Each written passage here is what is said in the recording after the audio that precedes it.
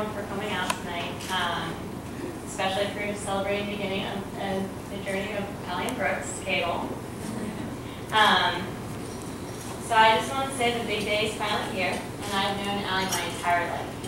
She's not only, I consider her my sister, my best friend, and especially someone that I look up to. We've had made, we have made countless unforgettable memories, from surfing in California to riding down Splash Mountain World, Florida. We were talking about that earlier. Um, we were glued, to the hip every chance that we had time to spend with one another.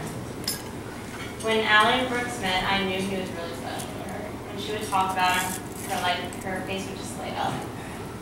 I could tell that he was just someone very different. Um, after meeting Brooks, I thought he was a genuinely kind-hearted man with a very adventurous spirit. Not a million years would I have ever thought that Allie would be in camouflage clothing, going duck hunting. But you did it, Brooks. Congratulations. I never thought in a million years this would happen. Um, but my greatest wish is for the two of you that through the years, your life for one another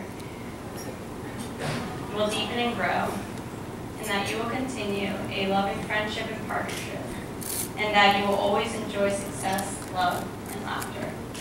May you know nothing but happiness from this day forward. Love you both.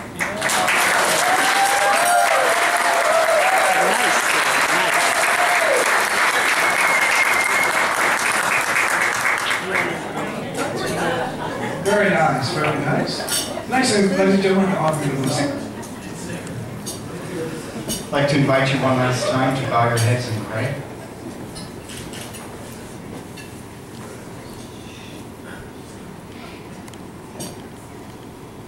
Ever gracious God, we gather in your presence. As always, we thank you for your gifts to us, poured out in such great abundance. Thank you for the miraculous gift of Brooks and Allie and their new covenantal love together. We pray that you continue to bless them and strengthen them. We pray that you bless our food, our conversation, our laughter, our time together. We too could be strengthened. We too could know that our joy and your joy are made complete. Bless this, our food, our time together, and strengthen us that we may see and seek and serve you in all we do. Through Christ our Lord. Amen. Yes, you